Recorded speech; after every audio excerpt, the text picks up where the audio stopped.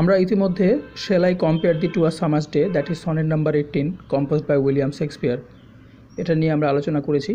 Details analysis and explanation করা হয়েছে। And I have tried my best to explain the sonnet in the most lucid way ever possible to you যাই হোক, তো এবারে আমরা আলোচনা করব যে এই কবিতার থেকে সম্ভাব্য কী ধরনের প্রশ্ন হতে পারে। আমরা ওভারঅল প্রশ্নগুলোকে নিয়ে একটু আলোচনা করব।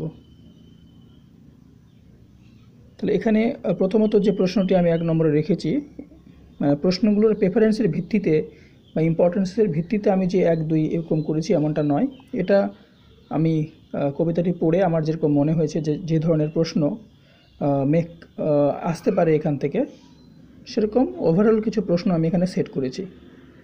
তবে এই প্রশ্নগুলো যথেষ্টই তাৎপর্যপূর্ণ বা import it it has their own importance and they are worthy of coming এই প্রশ্নগুলো আসার মতো। যদিও আমি এই ভিডিওটি তৈরি করছি keeping in mind the syllabus of class twelve but apart from this fact, uh, the other uh, people who are interested in literature and Shakespeare uh, video could be useful for them as well. তাদের জন্য এই ভিডিওটা useful বলে প্রমাণিত হবে বলে আমি মনে করছি। এনিওয়েজ সনেট এইটিন থেকে যে প্রথম প্রশ্নটি এখানে আমি রেখেছি সেটা হলো substance or theme of the sonnet তার মানে এখানে স্টুডেন্টসরা নিজেদেরকে মানে তোমরা কবিতাটির সাবস্টেন্স বা থিম এর জন্য প্রিপেয়ার করবে। যে যে কবিতাটির সাবস্টেন্স বা থিম কি?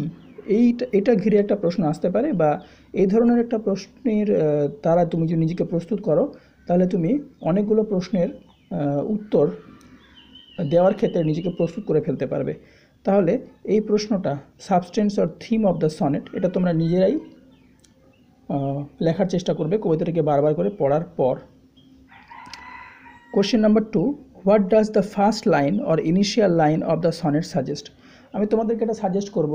Here I would like to suggest the students to memorise at least the initial lines and the lines which come at the end of a particular poem সম্ভব হলে তোমরা কবিতার ইম্পর্টেন্ট লাইন্সগুলো অন্ততপক্ষে first stanza last stanza first line last line এগুলো যথাসম্ভব মুখস্থ করার চেষ্টা করবে বা মাইন্ডে রাখার চেষ্টা করবে।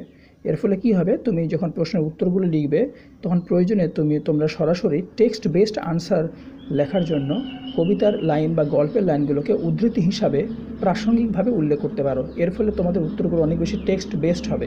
এবং আমরা শিক্ষক হিসাবে চাই যে তোমরা টেক্সটের সঙ্গে সম্পর্ক রেখে যেন উত্তরগুলো লেখো। আমরা চাই তোমরা টেক্সটগুলোর জন্য পড়ো। টেক্সটের সঙ্গে তোমাদের জন্য একটা রেগুলার যোগাযোগ থাকে। আচ্ছা। তাহলে দ্বিতীয় প্রশ্ন ছিল what does the first line or initial line of the sonnet suggest এটা তৃতীয় প্রশ্ন what is the poet's opinion about his friend's beauty কবি তার বন্ধুর সৌন্দর্য সম্পর্কে কী মতামত পোষণ করেছেন বা কবির মতে তার বন্ধুর সৌন্দর্য কেমন? Okay question number four why does the poet not want to compare his friend to a summer's day অথবা এই প্রশ্নটা এইভাবেও আসতে পারে What are the drawbacks of a summer day for which the poet doesn't want to go for a comparison between them? Okay, question number five. What does the phrase eye of heaven refer to?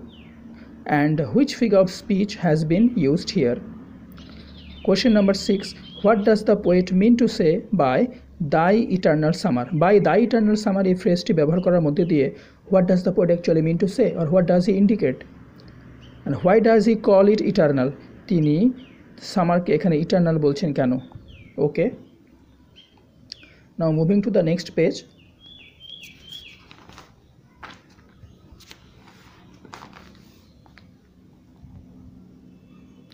দ্বিতীয় পেজে যে সমস্ত প্রশ্নগুলো রয়েছে, তার মধ্যে question number seven how has death been described here এই কবিতায় মৃত্যুকে কীভাবে ডেসক্রাইব করা হয়েছে?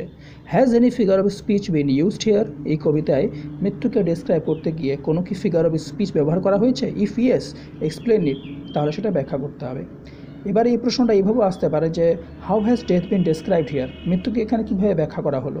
এবার যদি পরবর্তী অংশটি না থাকে যে has any figure of is figure of speech been used here or not কোনো রকম ফিগার অফ স্পিচ এখানে ব্যবহার করা হয়েছে কিনা? যদি এটা জানতে নাও চাওয়া হয়, তবুও তোমরা প্রাসঙ্গিকভাবে for the sake of relevance তোমরা এই বিষয়টা ওখানে উল্লেখ করবে। যদি মৃত্যুর বর্ণনা জানতে চাওয়া হয় কবিতাটির নিরিখে। Okay question number eight what does the poet mean by eternal lines eternal lines বলতে কবি আসলে কি বোঝাচ্ছেন? Why does he think his lines to be eternal কবি কেন মনে করছেন যে তার লাইনগুলো eternal what role will they play so তাহলে কবির লাইনগুলো যদি ইটার্নাল হয়, তাহলে তারা কি ভূমিকা পালন করবে? আচ্ছা question number nine what does the concluding couplet suggest in the sonnet এই সনেটটা যে concluding couplet last two line দিয়ে যে শেষ হচ্ছে, সেটার সিগনিফিক্যান্স বা তাৎপর্য কী? অথবা discuss the significance of this line অথবা what does the concluding couplet suggest in the in the sonnet একই ব্যাপার। এবারে অনেক সময় কবিতার ইম্পর্ট্যান্ট লাইন্সগুলো থেকেও প্রশ্ন আসে সেজন্য সেগুলোর এক্সপ্লেশন এক্সপ্লেনেশন নিয়ে আমাদেরকে প্রস্তুত হতে হবে। তাহলে এক্সপ্লেন দ্য ফলোয়িং লাইন্স বা ফ্রেজেস নিম্নোক্ত এই লাইন্স বা ফ্রেজেসগুলোর এক্সপ্লেনেশন কিসের ভিত্তিতে এগুলোর রিলেভেন্স সিগনিফিক্যান্স এবং ইম্পর্টেন্স এগুলোর গুরুত্ব বা তাৎপর্য বা প্রাসঙ্গিকতা এবং কিছুটা অর্থে যৌক্তিকতাও আমাদেরকে বুঝতে হবে। So some here I am mentioning some of the important phrases and lines from the poem. Okay যেমন darling birds of May what does it refer to summer's lease বলতে কি বোঝাচ্ছে? আই অফ হেভেন এটা বলতে কি বোঝাচ্ছে? Nature changing course untrimmed এখানে what does nature changing course refer to and why is it untrimmed moving to the next one thy eternal summer question may come that what does eternal summer mean here what does eternal summer mean here or what does the poet mean by eternal summer এখানে eternal summer বলতে কী বোঝাচ্ছে? Why is the summer eternal eternal এখানে summer eternal কেন? বা এখানে summer শব্দটা কী অর্থে ব্যবহৃত হলো? এটা এখানে কিন্তু সামার শব্দটা তার ইউজুয়াল অর্থে ব্যবহার হয়নি। এটা কবিতার এক্সপ্লেনেশনে আমি বলে দিয়েছি। যারা সেই ভিডিওটা মিস করেছ, তোমরা দেখবে সার্চ করে, তোমরা সেটা পেয়ে যাবে।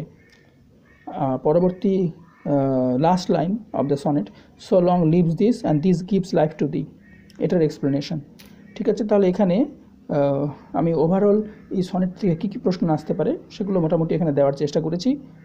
তোমরা এই প্রশ্নগুলোর জন্য নিজেদেরকে প্রস্তুত করবে। এবং কোনো প্রশ্ন যদি বুঝতে অসুবিধা হয় লেখা যদি পড়তে অসুবিধা হয় in case of any problem to understand the questions or to follow uh, my handwriting, then uh, you may write down your opinion on the comment section below. Thank you so much. Share this uh, with your friends, with your classmates, and subscribe this channel and press the notification bell so that you get the uh, new videos whenever I upload any. Thank you so much for watching.